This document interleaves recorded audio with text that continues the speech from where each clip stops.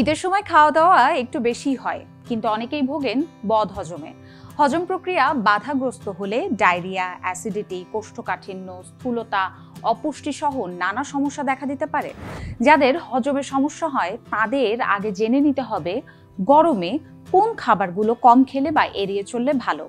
যেমন উচ্চ তেল চর্বিযুক্ত খাবার, ভাজা পোড়া খাবার হজম করতে সমস্যা করে।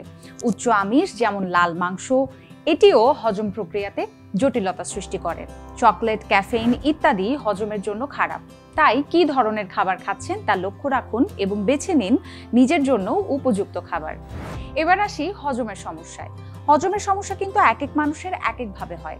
যাদের ঠিকমতো খাবার হজম হয় না, তারা কিন্তু নিয়মিত ব্যায়াম করলে, সঠিক খাদ্যাভ্যাস করলে এবং কিছু নিয়ম অনুসরণ করলেই হজম শক্তি সবল করা সম্ভব।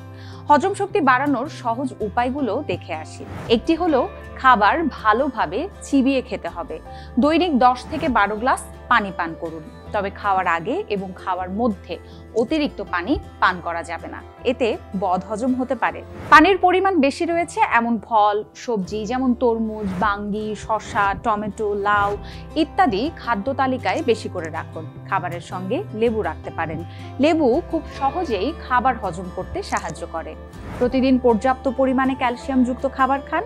খাদ্য তালিকায় আঁশযুক্ত খাবার বেশি করে রাখুন। আঁশযুক্ত খাবার সহজেই পানি শোষণ করে এবং হজম শক্তি বৃদ্ধিতে সাহায্য করে।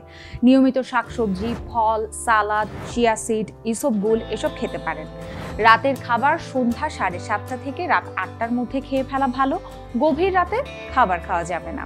খেয়েই আবার ঘুমানো যাবে না। ঘুমানোর অ্যাটলিস্ট দুই ঘণ্টা আগে রাতের খাবার গ্রহণ করুন। নিয়মিত ব্যায়াম করলে খাবার সঠিকভাবে হজম হয়। সারাদিনে সাত থেকে আট ঘণ্টা ভালো ঘুম প্রয়োজন এবং কোনোভাবেই রাত জাগা চলবে না।